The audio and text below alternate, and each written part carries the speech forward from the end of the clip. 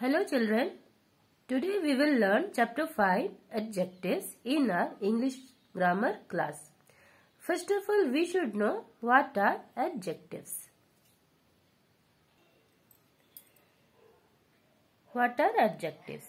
Adject adjectives are describing words. We use them to describe people, places, animals or things. Okay. For example, long, short, small, tall, interesting, etc. Thus, adjectives are nothing but describing words. They tell us something more. They give us something more information about a noun. That is about for person, place, animals or things. Okay. For example, Rita is a girl. In this sentence, we only know that Rita is a girl. If I write she, now I am writing uh, she as a pronoun. She is a she is a good girl. Here,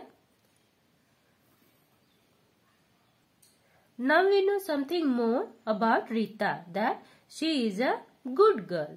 Here we added an extra word and that extra word is good which is telling us what kind of girl is she. A, a good girl. She has, like this, she has two brothers. And today she has less work. Here two also give some extra information, more information about Rita. So it's a adjective. Here good is also an adjective. Now like this, today she has less work to do. Here less also give some other information about Rita. Okay. So children, all these words that we are using to describe Rita or as a pronoun that give us more information are called as adjectives. Okay. Thus, long, short, small, tall, interesting, all of these are called adjectives. Now, in this video, we will learn degree of comparison of adjectives. There are three degrees of comparison of adjectives. First is positive degree, second is comparative degree and third is superlative degree. Positive degree of adjectives describe only one thing like short or Molly is a nice girl.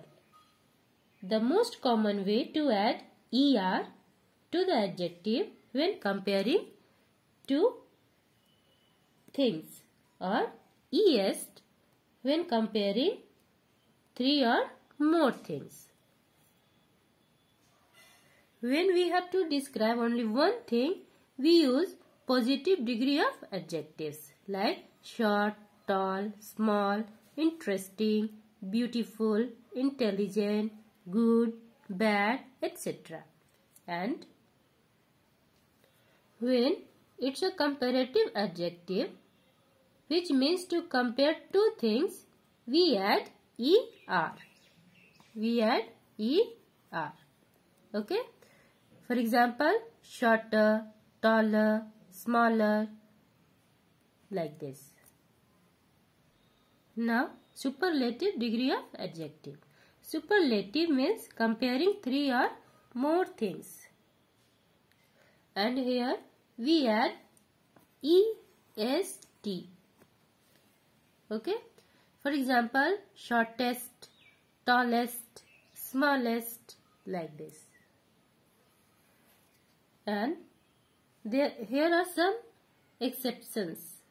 When an adjective is two three or more than three syllables we add more and most to the adjectives. For example interesting. Interesting word is of three syllables. So we add more in comparative degree more interesting and most in superlative degree and the adjective will be most interesting. Like this, beautiful, beautiful. Here it is of two syllables. So we add in comparative degree more. So it is more beautiful and most beautiful in superlative degree of adjective. Like this, intelligent. It is of three syllables.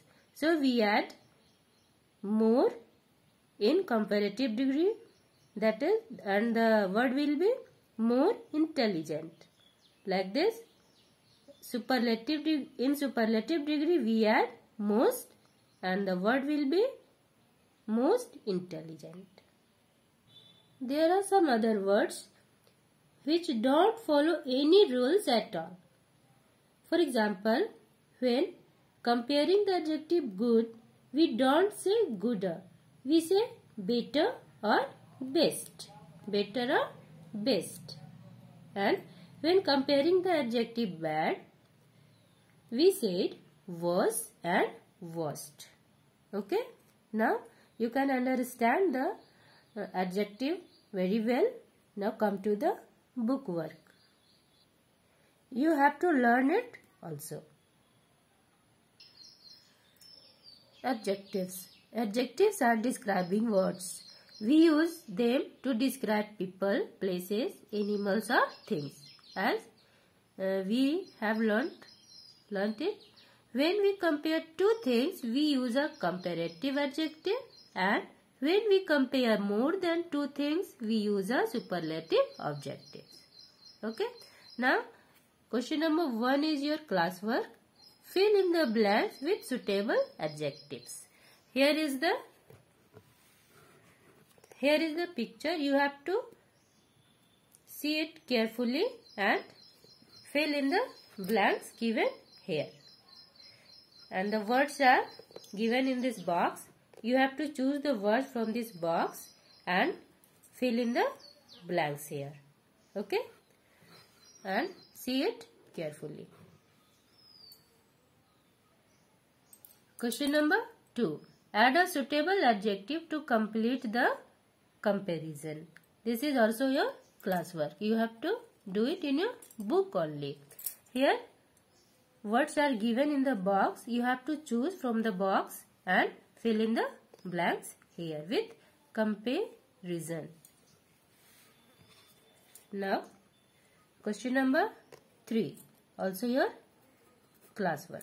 You have to do it in your book only. Fill in the blanks with the comparative or superlative forms of adjectives given in brackets. Here words are given and you have to change, convert it in comparative or superlative degree of the adjective as required in the sentences. Okay. Thank you. Have a nice day.